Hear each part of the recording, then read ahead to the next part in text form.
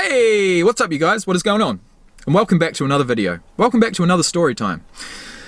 Today's video, we're going to be covering, well, it's actually another story from the exact same year that I talked about in the previous clip. And uh, this is 2002. 2002? 2003. 2003. Uh, my final year at Christchurch South Intermediate, my last year before attending high school. And I was taught a very, very valuable lesson. This is a lesson of perseverance. This is a lesson of believing and achieving, even at age 12. So, what happened was at Christchurch South, every day in second form, this is year eight, we had a teacher, Mrs. Colpin. Now, she was sports mad, just like me. So, it suited me perfectly, but it definitely didn't suit everyone in the class. So every day we did a personal training sort of session, which included a block run. So it was about a two kilometre run around a block, around the, the block that the school was on, and back in the back in the gates and back to the class. So we started at the class, we went out the front gates, all the way around the four streets, then back in the same gate and back to class. And she would time us. She'd time us not only to keep us accountable, but also to show us that with a bit of effort, you can achieve some amazing things that you never thought yourself capable of. Now, the person I'm going to mention in this video is not me, but it's actually the girl who had the worst time in the class. Her name was Julia. Now myself, I've got to admit, I was never I was never a long distance runner. I was always about sprints, but when I did do long distance, you know, I'd, I'd try my best.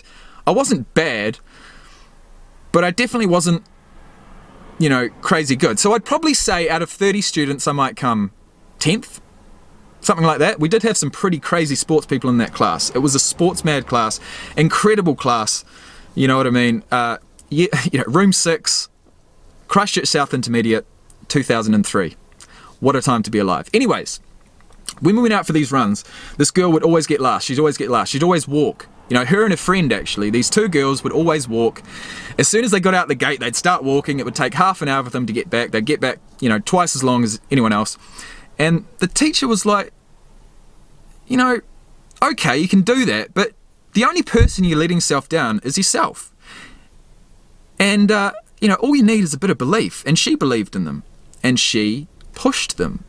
And she started actually running the block with us but not that often. Anyways, guys, the moral of the story is the fact that due to due to a little bit of self-belief, just a little bit, this girl not only started completing the entire block run without walking, but she got herself into the middle of the pack, guys. She was finishing around about the same time I was.